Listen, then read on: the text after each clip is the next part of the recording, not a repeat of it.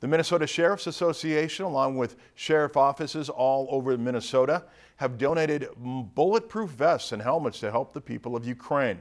Over 650 bulletproof vests, 55 helmets, and four shields were collected in just a few days.